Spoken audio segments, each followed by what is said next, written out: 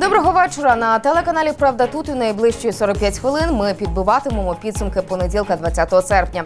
Які події сьогодні стали головними і змінили хід історії. Про це просто зараз. Смертельний напад на мерію посеред ночі невідомий намагався увірватися до міськради Харкова. Ще один населений пункт повернуто Україні. На передовій розповіли, як зростає площа підконтрольних Україні земель на Донбасі. Рахунки Укргазвидобування арештовані. За що з компанії примусово стягнуть понад 261 мільйон гривень. Посеред ночі невідомий намагався увірватися до міськради Харкова. Очевидці кажуть, підійшовши до дверей, чоловік разів з 10 поцілив у них із пістолета, поранивши охоронця будівлі.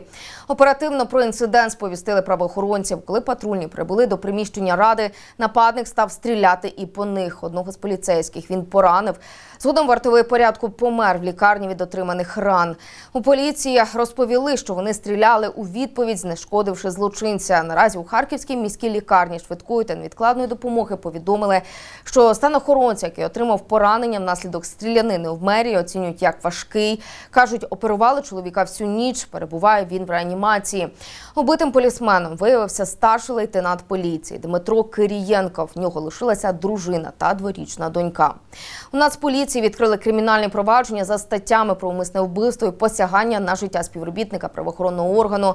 Правоохоронці просять допомогти встановити особу чоловіка, який увірвався до міськради. Зазначають на вигляд нападнику приблизно 40-45 років, зріст 165-170 сантиметрів, мав середню статуру, темно-русяве, короткострижене волосся, а також лобні залисини. У Сумах в автопригоду втрапив автомобіль патрульних. Напередодні Toyota Prius на перехресті не розминулася із Audi. За попередніми даними, службовий автомобіль копів їхав на виклик із включеними проблисковими маячками та звуковим сигналом. У той час, як на зелений сигнал світлофору перехрестя перетинала іномарка. Audi, не пропустивши патрульний автомобіль, вдарила Тойоту в бік, в результаті чого автомобіль патрульних вилетів на тротуар і перекинувся, збивши групу пішоходів. Із місця ДТП карета швидкої забрала п'ятьох осіб. Згодом ще двоє звернулися за допомогою до медиків самостійно. Лікарі розповіли, що дівчина чоловік наразі в важкому стані перебувають в реанімації. Решта отримали травми середньої важкості. Наразі сумська поліція просить свідків аварії, а також автомобілістів, які мають відео ДТП на своєму реєстраторі, надати матеріали і свідчення для встановлення повної картини зіткнення. Тим часом в Харківській області колишній головний архітектор міста став фігурантом смертельної автокатастрофи. Перебуваючи за кермом свого лексуса, Сергій Чечельницький не розминувся з вазом. У результаті зіткнення 77-річний водій, 63-річна пасажирка автомобіля ВАЗ загинули на місці. Ще одна літня пасажирка померла в кареті швидкої допомоги. Тим часом водія Лексуса медики діагностували забій грудної клітини. Стан його задовільний. Наразі поліцейські з'ясовують подробиці ДТП. Зуважу, Сергій Чечельницький втратив місце харківського архітектора влітку торік, коли отримав від ГПУ підозру у справі про виділення землі за так званою корпоративною схемою. Тоді судді задовольнили клопотання слідчих, відсторонивши Чечельницького з посади. Потім його звільнили і призначили радником міського голови Харкова Геннадія Кернеса. А вже в травні цього року екс-архітектор подав декларацію в якості кандидата на посаду заступника директора департаменту начальника управління містобудування та архітектури головного архітектора Харкова. Затоплені автомобілі, проваля замість дороги та сотні повалених дерев. Друга потужна злива сколихнула столицю цими вихідними. Тепер на ліквідацію наслідків негоди доведеться витратити чималу суму. Та от з чийого гаманця? Чи варто розраховувати на компенсацію від влади тим, хто в епіцентрі стихії? Відповідь на це питання шукали наші журналісти.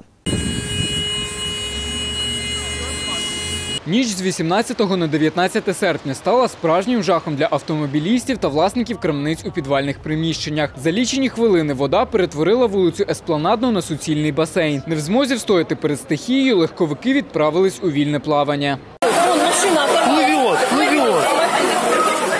Его она плывет, смотри. Вон плывут все машины. Уже після закінчення зливи водії просто вжахались наслідків негоди. Видите, ручка. До такого уровня была вода. Чому ж вулиці перетворились на річки? Мешканці столиці переконані, що причиною тому стала хаотична та масова забудова Києва. Справа не в Лівнефті. Якщо було б більше землі, то вона б е, всмоктувала в себе воду. Це ж зрозуміло. Будь-яка е, лівньовка, чи як воно там називається, не може вивести велику кількість води. Это вопрос в глобальном потеплении Повышается температура, соответственно, больше дождей, и наши канализационные системы для этого просто не приспособлены. Я думаю, что это вопрос, э, м, наверное, очистки или, может, пере, э, м, перестройки канализационных систем. А от представники місцевої влади запевняють, що усі системи водовідведення справні та почищені. глибина потоку води, який рухався е, по е, бульвару Лесі Українки, е, досягала 40 сантиметрів. От. Потім ця вода е, потрапляла в, е, до вулиці Еспланадної, на, той, на майданчик на відповідний, і вона просто фізично не встигала е, сприйматися системами. Чи не найголовнішим питанням, що турбує киян, хто ж відшкодує збитки власникам автомобілів, які затопило водою? У КМДА запевнили, що це не їхня провина, тому і компенсувати нічого не будуть. Загальна практика європейська, світова, є таке розуміння, як страховий випадок. Е, Ми переконані, що це ті події, які от е, відбувалися з, е, в- в- з зливами.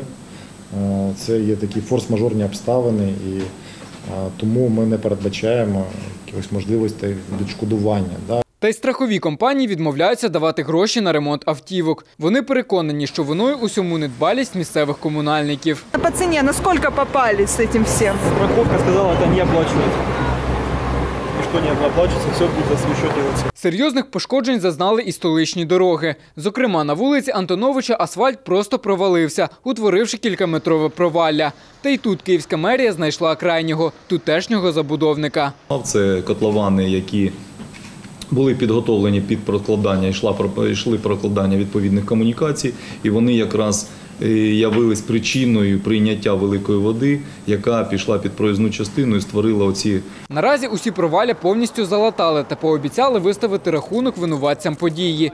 Крім того, мерія міста повідомила, що і надалі позапланово перевірятимуть стан усіх водовідвідних систем та у разі можливого повтору зливи обов'язково попереджатимуть киян. Євгеній Бригер, Сергій Ковальов. Новини Правда тут. Оговтується від негоди не лише Київ. Днями масштабна злива перетворила на справжню Венецію і Львів. Тут люди купалися в водяних каналах, плавали на гумових гондолах і стрибали по калюжах. Проте погодня розвага завдала неабиякої шкоди місту. Хто ж відповідатиме за наслідки та чому чиновники досі не вжили заходів? Дивіться в сюжеті. Львівськими вулицями потекли повноводні ріки, а львів'яни плавали містом на гумових гондолах. Чим не Венеція? Проливний дощ затопив вулиці Сахарова, Джерельну, Городоцьку та Торфяну. Повалив десяток дерев та на декілька годин заблокував роботу транспорту. У гідрометцентрі прогнозували короткочасні опади, проте на таку масштабну зливу аж ніяк не очікували. Таке явище ну, передбачити дуже непросто, тому що вони, воно виникає раптово. За рахунок ем, високих денних температур в другій половині дня саме Львів і північ області ем, дали такі високі температури. І тому розвинулася така кучово-дощова хмарність, що дала такі небезпечні конвективні явища. На щастя, під час негоди ніхто не постраждав. Львів'яни ж навіть зуміли розважитися наслідками цього стихійного явища. бо соні чекували львівськими вулицями та глузували з такої дивини. Адже за останні 50 років у місті Лева не траплялося нічого подібного. Та не до сміху було надзвичайникам, на долю яких припало чи не найбільше роботи. Було залучено близько сотні рятувальників. Е, Загалом вдалося надати допомогу 142 людям. Е, З них 15 дітей, 22 особи були врятовані. Ще 77 людей були витягнуті із, е, скажімо, маршрутних транспортних засобів, адже вони були заблоковані там через високий рівень води. І також рятувальники відбуксирували 12 автобусів та 15 легкових автівок. Цей львівський дощик перевищив 28% опадів від місячної норми. Відтак у міськраді переконують, каналізаційна система не впоралась з такою кількістю води. Навесні ми чистимо всі дощеприймачі. Дощеприймачі були всі очищені. І я вам для прикладу скажу, скажу що очисні споруди. В погожий день, коли є гарна погода, сприймають 20 тисяч метрів кубічних стоків. За оцей період часу, за годину часу в п'ятницю, коли падав сильний дощ, очисні споруди при- сприйняли 60 тисяч метрів кубічних стоків, тобто втричі більше. Та от лише ліквідувати наслідки стихії справа не важка. А от полагодити дощоприймачі та водостоки у місті і розширити каналізаційну систему у міських чиновників поки руки не доходять. Відтак у мерії повторюють питання, вирішують. Поки що ми е, це питання розглядаємо, але поки що ми ну розглядаємо дане питання. В перспективі ви будете чути про це. Загалом відкачали понад 5 тисяч кубометрів води. Впродовж вихідних на вулицях міста працювали близько 2 тисяч працівників та 33 одиниці техніки. Нині ж комунальники досі ліквідовують наслідки стихії, викачують воду з підвальних приміщень, лагодять підтоплені житлові будинки та новоутворені провали на пішохідних хідниках та дорогах та прибирають каналізаційні залишки, що виплили на поверхню разом з каналізаційним потоком. Оксана Павлишин, Олег Максимів. Правда тут. Районний суд Перемишля арештував водія українського автобуса, який 17 серпня потрапив в ДТП на Підкарпатті. Напередодні його допитали в прокуратурі та висунули звинувачення в свідомому спричиненні катастрофи на дорозі. Чоловік своєї вини не визнав. Попри це, в разі доведення його вини українцю загрожує до 12 років позбавлення волі. Нагадаю, три дні тому близько опівночі автобус із півсотни українських туристів зірвався з 30-метрового схилу. Троє людей загинули, майже 40 отримали травми. Збільшити допомогу цивільному населенню Донецької та Луганської області. Про це світову спільноту закликали в ООН. З нагоди Всесвітнього дня гуманітарної допомоги, оприлюднивши відео про Донбас, тут ще раз нагадали про гуманітарну кризу в воєнізованому регіоні. Зокрема, координатор з цих питань в Україні Оснат Лубрані зазначила, що на п'ятий рік кризи на сході України більше трьох тисяч цивільних загинули і більше дев'яти тисяч були поранені. У той же час майже 3,5 мільйона осіб мають справу з труднощами отримання продуктів харчування, доступу до води, житла, медичних послуг і освіти. Тим часом із передової передають, що нашим бійцям вдалося взяти під контроль новий населений пункт. За словами координатора інформаційного опору Дмитра Тимчука, підрозділи 24-ї окремої механізованої бригади імені короля Данила, відтіснивши ворога, замкнули кільце безпеки навколо міста Торецьк і утворили буферну зону навколо контрольного пункту Майорське. Разом з тим, під повний контроль об'єднаних сил перейшов населений пункт Шуми і дачний масив цього населеного пункту. Траса вздовж водопроводу та дачний масив селища Шахти 6-7. Загалом під контролем збройних сил України опинилося більше 10 квадратних кілометрів території так званої сірої зони. Тисячі загиблих українських героїв неоголошеної війни дивляться зі стіни пам'яті. Це народний проект, яким опікуються волонтери. Своєрідна експозиція героїзму та скорботи, як нагадування, якою ціною ми виборюємо незалежність кожного дня вже п'ятий рік поспіль. Тільки от держава чомусь обходить стороною зусилля волонтерів та не виділяє жодної копійки на цю експозицію. Герої, що навічно залишились у зеленому коридорі Іловайська, загиблі у пеклі битви за Донецьке литовище та тисячі інших українських героїв, що віддали життя за незалежність. Усі зібрані тут на мурах Михайлівського Золотоверхого. І трагічна експозиція, на жаль, постійно поповнюється. Нещодавно волонтери заповнили фото загиблими шматок стіни, де раніше був напис Зниклі безвісти. Это Павел Петренко, батальон «Донбасс». Мы довозили вторую часть его, которая была э, ну, только идентифицирована в этом году, вот, дозахоранивали. Вот. И Николай Гуменюк, 51-я бригада. То есть вот эти квадратики теперь будет, будут ихние. Павло займається пошуком загиблих українських воїнів з 2014 року. Саме він та ще декілька однодумців ініціювали створення народної стіни пам'яті. Її облаштували за кошти небайдужих та меценатів, бо допомоги від держави за час існування цього пам'ятного місця жодної. Мы у КМДА просили просто нам сюда розетку сделать. Вот, это проблема. Освещение сделать – это проблема. Они говорят, это все так сложно, проекты.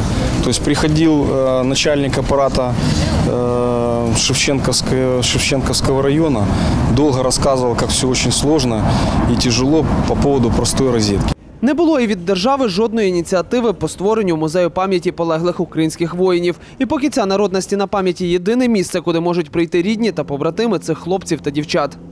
Здесь же есть все мои друзья, с которыми мы были вместе на войне, но кто, к сожалению, не вернулся. Это возможность сказать спасибо, просто помолчать, просто прийти в гости. Ми е, ніколи не забудемо, ніколи не пробачимо. Е, що кожне наступне покоління, наступна генерація, вони докладуть зусиль, щоб те, за що наш народ почав боротись з Майдану, Революції Гідності, що ця справа вічна, вона жива. Незабаром 29 серпня, день, коли вшановують загиблих бійців в Іловайській трагедії. Волонтери та небайдужі вже не перший рік просять владу зробити цей день офіційним днем вшанування полеглих українських воїнів. Проте поки що від можновладців жодної реакції. Цього року планується наймасштабніший захід біля народної стіни пам'яті. у нас э, должна сюда приехать э, вся Украина. То есть мы ожидаем родителей. Э, Это будет впервые.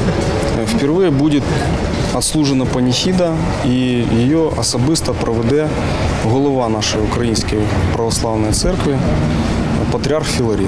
До 29 серпня волонтери планують відкрити чотири секції стіни пам'яті, де розмістять ще півтори тисячі імен полеглих солдатів. Якщо це вдасться зробити, тоді тут будуть імена усіх загиблих за роки Україно-російської війни. За роки окупації наша держава втратила 3885 військових. Аби задумане вдалося, ініціатори пропонують долучатися усім небайдужим. Новини правда тут.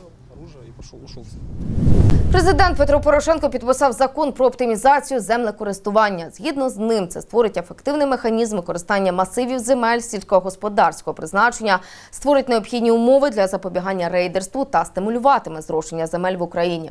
У президента кажуть, закон окреслює особливості використання і розпорядження територіями, розташованими в масиві земель сільгосппризначення, а також полезахисних лісових смуг, які обмежують такий масив. І не тільки також в ньому йдеться про право власників земельних ділянок усіх форм власності на обмін.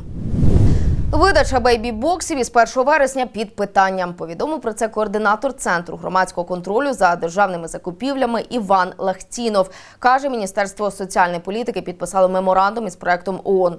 Тож постачання товарів для бейбі-боксів потрібно реалізовувати саме в рамках нього. Після цього Transparency International Україна стало відомо, що Мінсоцполітики дало вказівки облдержадміністраціям підписати договори на 1 мільйон гривень без проведення тендерів. Що власне суперечить українському законодавству і не підпадає під категорію виняткових ситуацій. Наразі до Державної казначейської служби України надіслано запит уточнити, як саме проект фінансуватиметься, оскільки саме після проведення цієї процедури українські породіллі зможуть отримати бейбі-бокси для своїх малюків. День народження під стінами мозу шестирічний Ілля прийшов до міністерства просити, аби його маму врятували від тяжкої хвороби. Жінка потребує пересадки кісткового мозку, проте гроші на лікування їй виділяти ніхто і не збирається. Мати двох дітей разом із іншими важкохворими вкотре звернулись до чиновників, аби ті надали гарантовану їм законом підтримку. Свій шостий день народження Ілля зустрічає не в колі друзів, а під стінами мозу. Торт, свічки, гості – усе є. Єдине, чого не вистачає, це святкового настрою. Адже мама малюка важко хвора, а у Міністерстві охорони здоров'я на проблеми таких пацієнтів не звертають уваги. Щоб мамуля вилікувалась, їй дали гроші, щоб мамуля дала лікарям і Оксана, мати хлопчика, потребує пересадки кісткового мозку. Допомоги від держави жінка так і не отримала. Сьогодні її теж проігнорували. Сказала охорона, що до нас ніхто не збирається виходити, тому ми нікого не дочекались, нам тільки з вікна махають. Аби привернути до себе увагу, батько хворої навіть розставив намет. Обіцяє залишитись тут, доки їх не почують. Утім, аби підтримати Оксану, прийшли й інші важкохворі пацієнти. На верхівках закони не діють і люди борються з усіх сил, збираються, бо немає просто не мають, е, не мають виходу. Таке відчуття, що просто наші можновладці вони просто не дивляться на нашу проблему. До людей не вийшли, до себе не пустили. Мовляв, усі у відпустці, тож й нема до кого йти. Чому ніхто не може вийти до людей? Чому не можемо зв'язатися з ними? Чому не беруть телефон? Вам же ж дали якусь Ті люди, вказівку? ті люди, які вони хочуть, щоб вони вийшли, їх зараз немає на роботі, вони зараз в відпустці. Проігнорували людей та журналістів і телефоном. Багаторазові намагання дозвонитися до прес-центру відомства так і залишилися безрезультатними.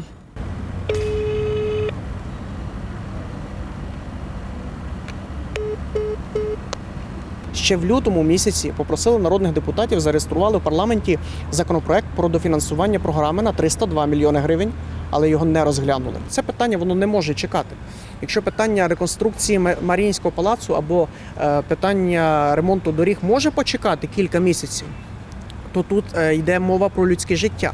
Тож сьогодні Оксані разом з її дітлахами залишається хіба сподіватися, що чиновники бодай коли вийдуть зі своїх відпусток, можливо, все ж звернуть увагу на її проблему.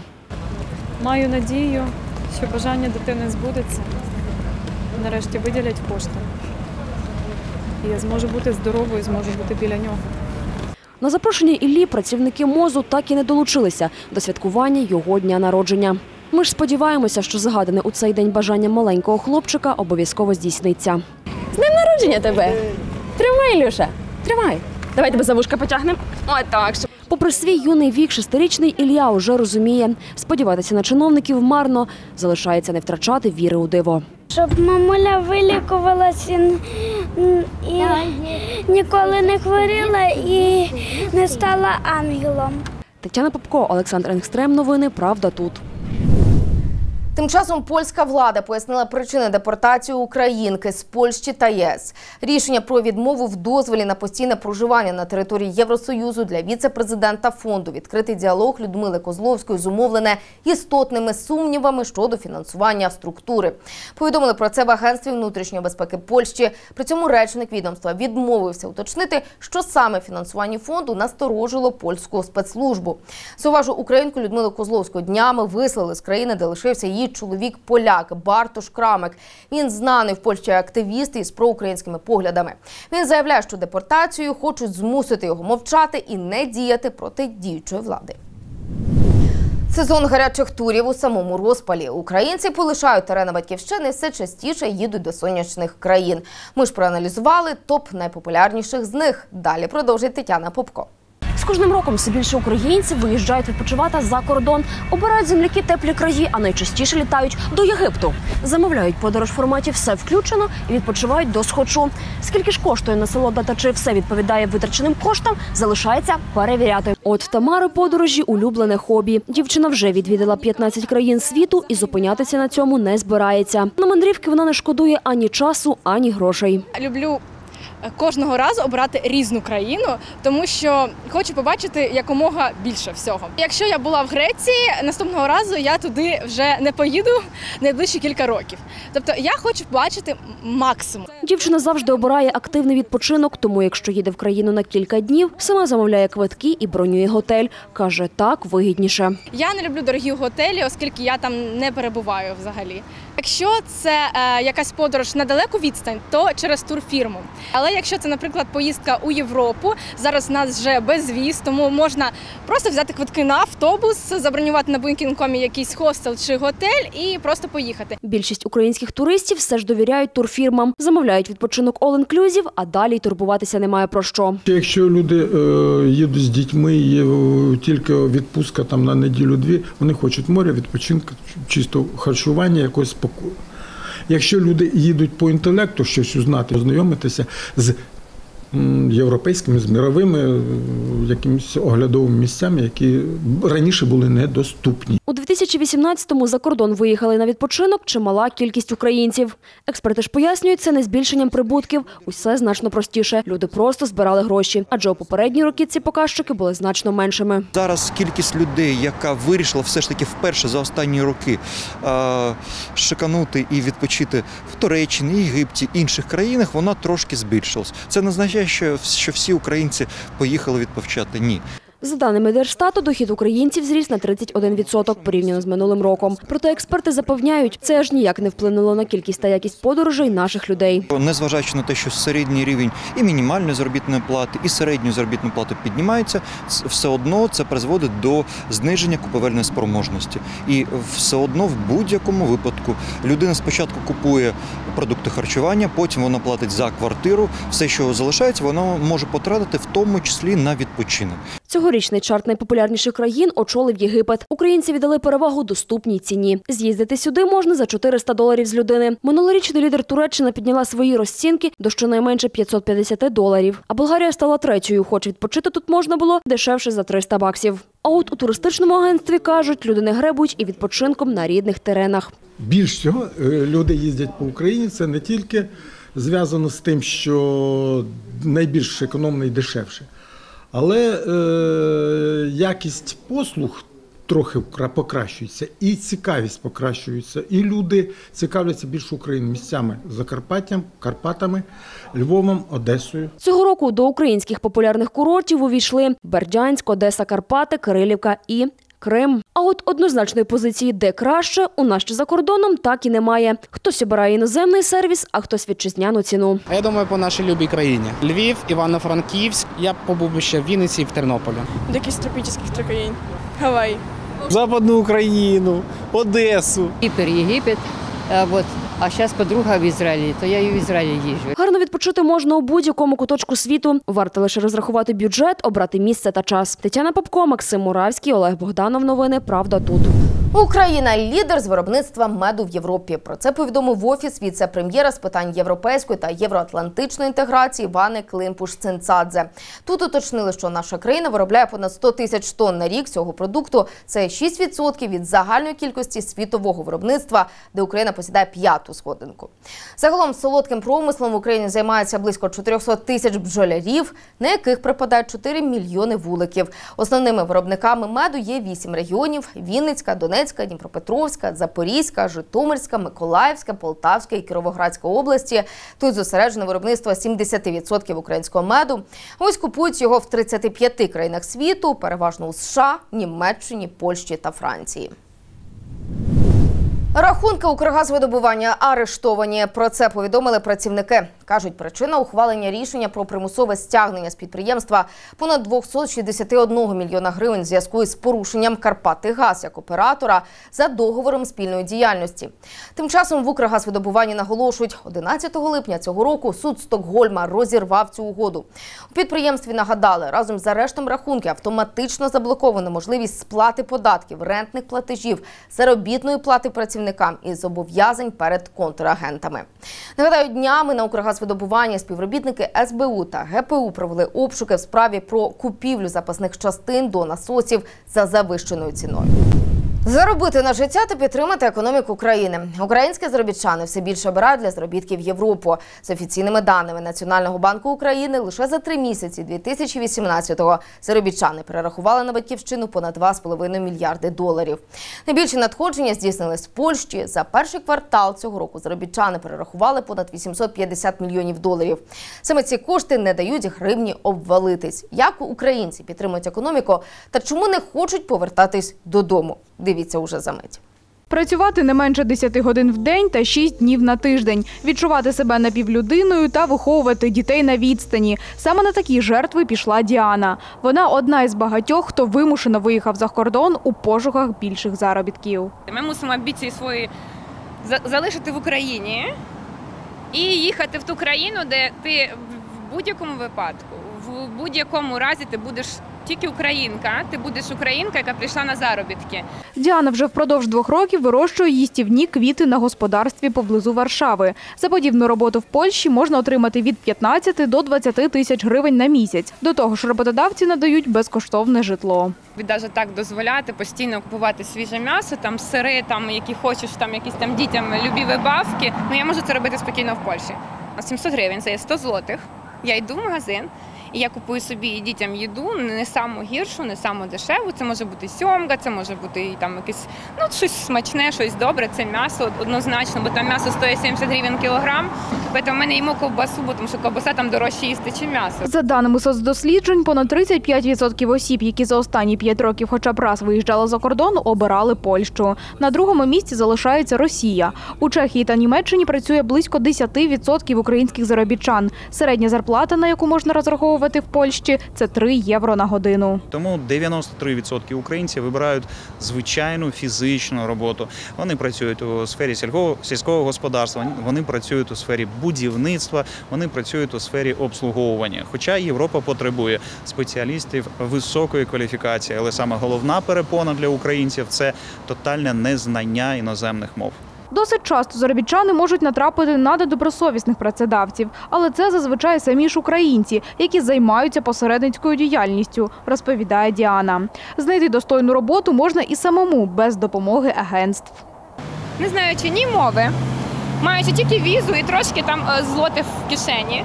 І я просто знайшла людину, я гуляла з братом по вокзалу, може там півдня. Ми знайшли посередника. Щонайменше українець може заробити в Польщі 550 євро. Тим часом, як в Європі, працю оцінюють чи не втричі вище. Якщо люди поїдуть у, ту ж саму Німеччину, то заробітна платня буде в три рази вище. Але який сенс про це говорити, якщо зараз українців легально е, не бажають працевлаштовувати у Німеччині? Саме ці кошти, що й надсилають заробітчани, рятують гривню від тотального обвалу, кажуть фахівці. Значну більшість іноземної валюти українці тримають вдома. Саме ці гроші могли б підтримувати економіку, якби вкладались би у банківські системи. Те, що вони там будуть надійно зберігатися, неможливо. І через те багато хто просто зберігає гроші до того часу, коли вони знадобляться фактично не працюючи не на саму людину, тобто вона не відкриває власного бізнесу і не надає ці гроші в банк, щоб потім банк пожвавив економіку через кредити. Фахівці запевняють, ситуація з трудовою міграцією не катастрофічна. Більшість із українських заробітчан виїжджають на сезонні роботи і все ж таки повертаються на батьківщину. Ірина Ніколенко, Сергій Ковальов, Євген Падерін. Новини Правда тут. Забезпечити малечу необхідним обладнанням. Благодійника передали гуманітарну допомогу з Голландії Львівському Охмадиту. Медзаклад отримав понад 20 багатофункційних ліжок, крапельниць та іншої допоміжної техніки, яка вкрай необхідна дитячій лікарні. Малечі у шпиталі стане комфортніше. Українська діаспора у Нідерландах забезпечила Охмадит гуманітарною спецтехнікою. Тут є е, ліжка функціональні з електроприводами, які в дефіциті у нас в Україні, якби це не важко було признавати, так? З матрасами також є два крісла для інфузій і багато дуже стерильного матеріалу, який потрібен для роботи хірургії. Одне таке ліжко коштує приблизно 5 тисяч доларів. І таких у Охмадиті тепер аж 25. І усе передали безкоштовно. У дитячій лікарні кажуть, обладнання дійсно вкрай необхідне, адже попереднє вже віджило свій термін. Ця допомога піде у відділення е, офтальмологічне, а інші будуть розподілені по тих відділеннях, бо рукавички і медичні шприци використовуються в кожному відділенні. У Голландії гуманітарну допомогу збирали упродовж двох місяців. Згодом його привезли до України. Утім, аби розмитнити вантаж, довелося залучити і народних депутатів. Адже щоб гуманітарка таки перетнула наш кордон, народні обранці вісім місяців вбивали пороги не одного кабінету та зібрали чимало документів. На жаль, у нас законодавство ще настільки жорстке, воно не адаптовано до сучасних реалій. Тому ми будемо це змінювати. Це перша машина, але вже готуються наступні дві машини. Куди вони підуть? Ми будемо дивитися по складу тих машин. Таку гуманітарку українська діаспора у Нідерландах обіцяє відправляти якомога частіше. Приблизно через місяць Львівщина отримає нову допомогу. Наталя Галецька, Тетяна Витвінська, Григорій Сюськін. Правда тут. А у продовженні випуску дивіться про таке. Цією ж монетою італійську актрису, одну з жертв Вайнштейна, звинуватили в насильстві. Молдова не буде укладати новий договір із Газпромом і чекає на зведення власного газопроводу. А також про новий сімейний фільм від Діснея, в якому одним з головних героїв стане чоловік нетрадиційної орієнтації. Тією ж монетою італійську актрису Азію Ардженто, одну з ключових фігуранток у сексуальному скандалі навколо продюсера Гарві Вайнштейна, саму звинуватили в сексуальному насильстві. Американська преса оприлюднила свідчення молодого актора Джиммі Беннета, який знімався з Азією в одній із картин. За його словами, коли йому було 17, актриса мала з ним сексуальні стосунки, і в нього є докази. Ба більше молодик запевняє, його шокувало те, що сама Азія стала звинувачувати іншу людину в сексуальному домаганні. 哈你 А ось вагіта міністерка Нової Зеландії у справах жінок вирушила до пологового будинку на велосипеді. Каже, нікого шокувати чи закликати не хотіла, мовляв, просто для неї не знайшлося місця в автомобілі. Світлини відчайдушного вчинку вона опублікувала в своєму інстаграмі. Джулі Джентер, друга урядовиця в цій країні після прем'єр-міністра Джасінди Ардерн, якій вдалося поєднати політичну кар'єру з материнством. Наразі відомо, що відчайдуха йде у відпустку на три місяці після пологів. Зуважу, перша жінка парламентарі Нової Зеландії народила дитину, перебуваючи на посаді в 1970 році. У 1983 році інша жінка-політик вперше погодувала немовля грудним молоком на робочому місці. Австрійські вакації Путіна. Президент Російської Федерації відвідав Німеччину та Австрію із не надто робочим візитом. Окрім роботи, було місце і веселощам перед зустрічю з Ангелою Меркель. Путін повеселився на весіллі австрійської міністерки закордонних справ Кнайсель. Про що ж говорили і домовлялись? Далі в сюжеті. Володимир Путін відгуляв на австрійському весіллі. Вони танцювали та веселилися. У подарунок російський президент привіз справжніх донських козаків, які особисто заспівали міністерці закордонних справ Австрії та вручили молодятам самовар.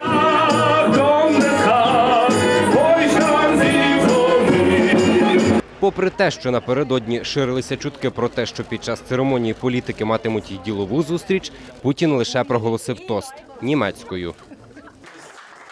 Дорогі наречені, я вітаю вас від усього серця зі шлюбом і створенням нової сім'ї. В Росії зазвичай молодятам бажають злагоди та любові. Бажаю вам цього. Бажаю вам багато щастя та здоров'я. До прийому таких гостей місто готувалося більше, аніж молодята до весілля. Ми пишаємося тим, що один із найважливіших політиків світу приїхав сюди. У кожного свої методи управління країною. Це справи людей, які у ній живуть. Дорогою з весілля австрійської посадовиці Путін зустрівся із канцлеркою Німеччини Ангелою Меркель. Про що вони мали говорити, чи не до останнього тримали в таємниці. Коли ж зустріч уже відбулася, говорили про Сирію та про можливу гуманітарну катастрофу. Окрім іншого, ми бачимо, що кількість боїв зменшується, проте це ще не встановлює мирний порядок. Топ-темою для Путіна ж стало будівництво Північного потоку. 2 нагадаємо, що це проект газогону в Німеччину через Балтійське море. Для Росії вигода від його будівництва очевидна. Це і можливість напряму торгувати блакитним паливом із Європою, і незалежність від політичної ситуації. Северный поток-2 – это исключительно экономический проект. И он не закрывает возможности продолжения транзитных поставок российского газа через территорию Украины. Та не лише у цьому контексті Путін говорив про Україну. Мы, конечно, будем говорить об Украине, как э, сказала госпожа федеральный канцлер. В контексте урегулирования украинского кризиса, который, к сожалению, никак не продвигается, имеем в виду подчеркнуть безальтернативность реализации Минских соглашений. Зустріч Путіна і Меркель відбулася 18 серпня, а вже 19 серпня The Wall Street Journal із посиланням на американських посадовців написала про можливі санкції, спричинені будівництвом Північного потоку. 2 американці говорять про залежність Європи від російського газу і готові ввести санкції проти компаній, що будують або фінансують новий російський газопровід. Богдан Логунов, Костянтин Мельников. Новини Правда тут.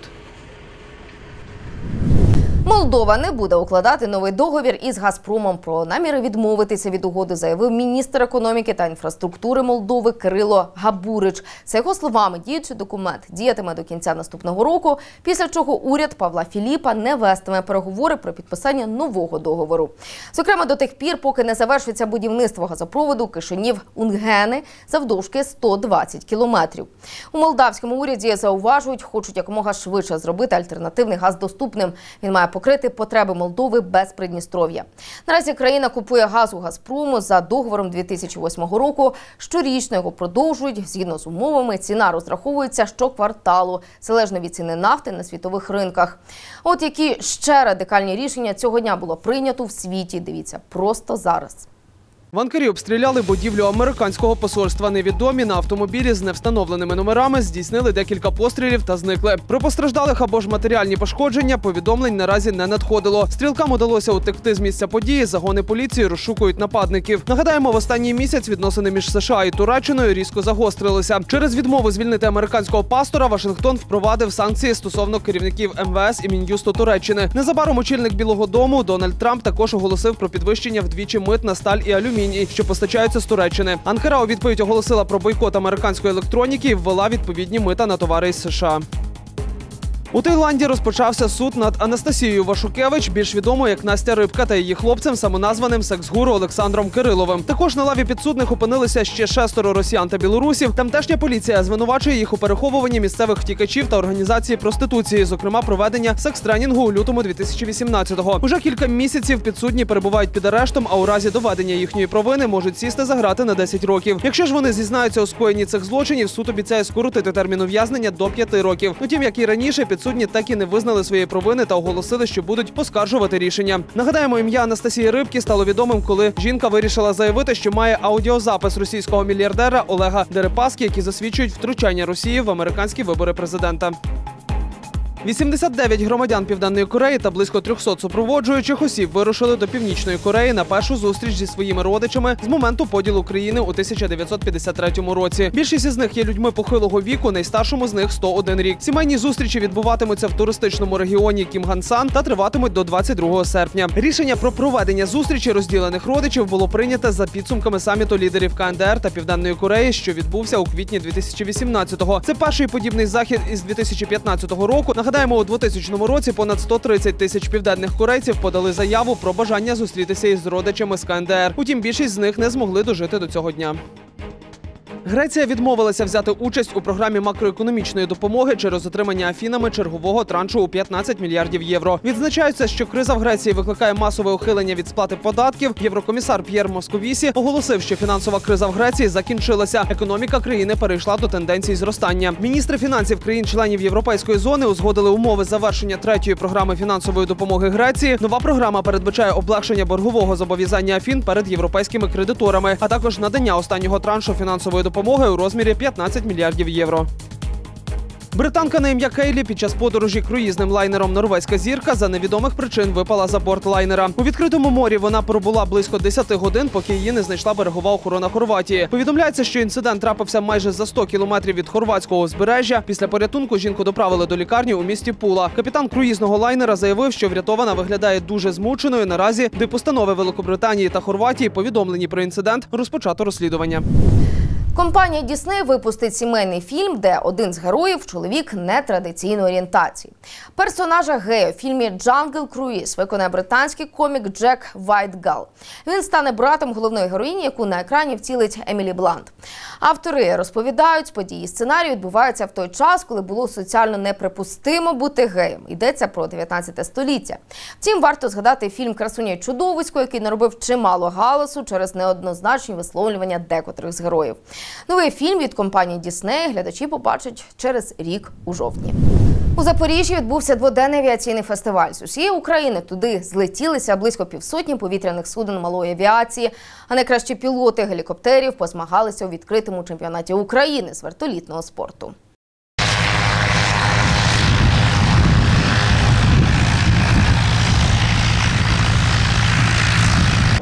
Літальний апарат, що кружляє у небі, це французький винахід 30-х років. Його ще називають автожир або ж гіроплан.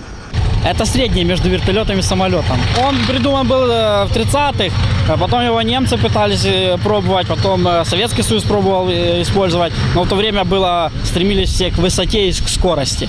Этот аппарат больше, больше предназначен для низких и маневренных полетов. Вот, поэтому про него забыли, а сейчас начинают потихоньку вспоминать.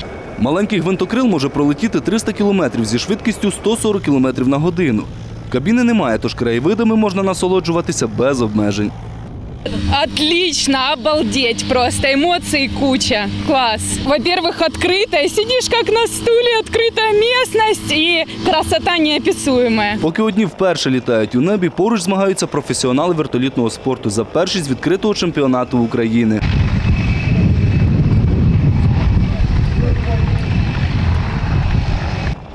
Змагаються вісім українських екіпажів і гості з Білорусі, чемпіони світу Володимир Бугаєв та Андрій Роганов. Разом вони літають вже 10 років.